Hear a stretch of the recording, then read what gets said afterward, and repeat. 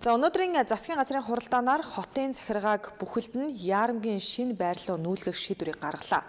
За эхний ээлжинд энэ ондоо багтаа нийслэлийн засаг даргын хамгийн газар нийслэлийн иргэдийн төлөөлөгчдийн хурал захирагчийн ажлын албаны 900 ажилтан албаагч шин байрандаа нүүж орно.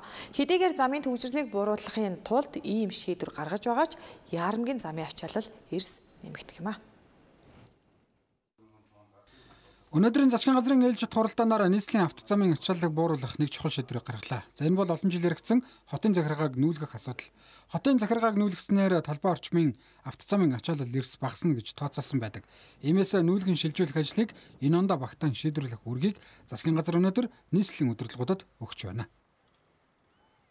Өнөөдөр засгийн газрын хурлын тогтоолоор нийслэлийн иргэдийн төлөөлөлтийн хуралцаг дарганд хамгийн газар зархичийн ажлын алба за 16 агентлаг алба гэ нийтээ 900 гаруй ажилтан албаагч техникийн ээлжинд яарамгийн нийслэлийн шин захиргааны байрлал нүүх ийм шийдвэр гарлаа. Энэ бол төвлөрөлтөй хийх тэмцэлд төвжирэлтэй хийх тэмцэл төрийн байгууллагын зүгээс гаргаж байгаа манлайллыг одоо хот ингээд авч явах ийм шаардлага үүсч бий болсон. Үүнтэй холбоотой ийм тогтоол гарлаа.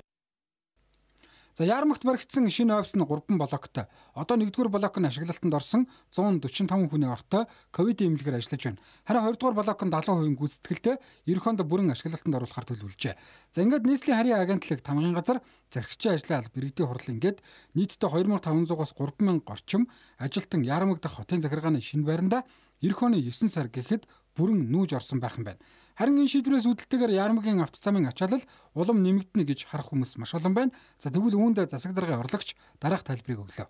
Яг Ярмагийн ачаалал нийслэлийн албан хаагчдын оруулах нөлөөлөл бол харьцангуй бага байна гэж би төлөвлөж байна. Яг тэгэхээр би дотоод зохион байгуулалтын ажлууд зохион байгуулна.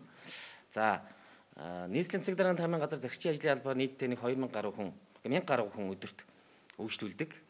За энэ тоо тэр яарамгийн мэдээж иргэдийн нэг наашаа ирж байгаа тэр төвлөрөл бас нөлөөлж байгаа. Тэгэхээр ер нь бол өдрийн 1000 орчим хүний үйлчилдэг ийм байгууллагууд. Тэгэхээр энэ хэрээр тодорхой хэмжээний ачаал үүсэх үүсэхгүй.